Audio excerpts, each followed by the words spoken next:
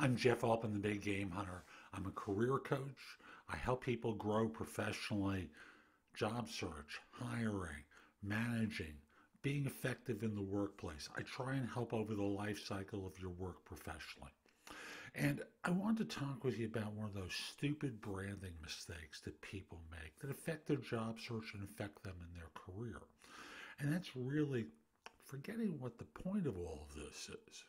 And that is about growing yourself professionally, becoming known, becoming a go to person within an audience of individuals. So when they think of what it is that you do, they think of you. After all, people and firms have choices.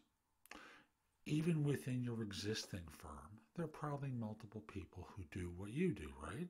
And if not, you're in a very small organization. It's important to expand outside of that organization and become that person that they think of when they think of this kind of work.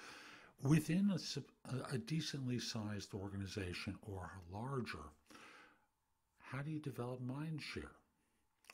And if you start to confuse your message if you start to confuse people and they think of you in a different way, you lose. So, for example, if you're very capable in your profession, but you're the, excuse my language, PITA, pain in the, and I'll leave you to figure out what the last uh, letter stands for, P-I-T-A, pain in the rear. That's what they remember about you, right?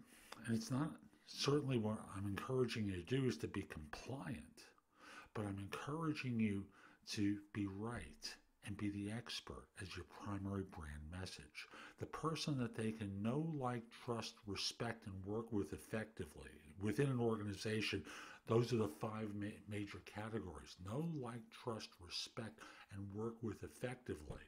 Where you're someone who is a pain in the rear, they don't really like working with you. And thus, it's almost like those old Dracula movies where the cross goes up and they push people away. Well, is that how you want to be seen? Because that really is how you're leading. All those other things get pushed aside because you're known and your brand is the pain in the rear. Remember, everything that you do or don't do sends a message to the audience about who you are and what it's like to work with you. That affects your promotional opportunities, that affects your job search opportunities, it affects everything about yourself professionally. Think of that before you open your mouth about politics. And if you don't care about it, okay, that's fine, that's your choice. But it does have an impact.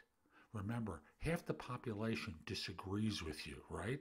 And you don't really care about them. You think they're whatever it is that they are.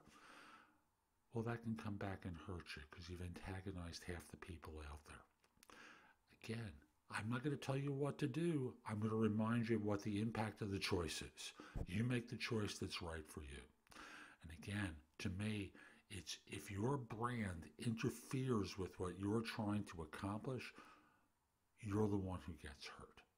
I'm Jeff Altman. Hope you found this helpful. Visit my website, thebiggamehunter.us. I've got a lot more there that you can watch, listen to, or read that will help you find work more quickly.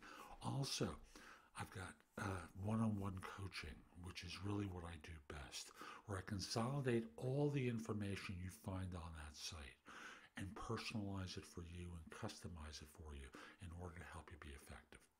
Hope you have a great day and take care.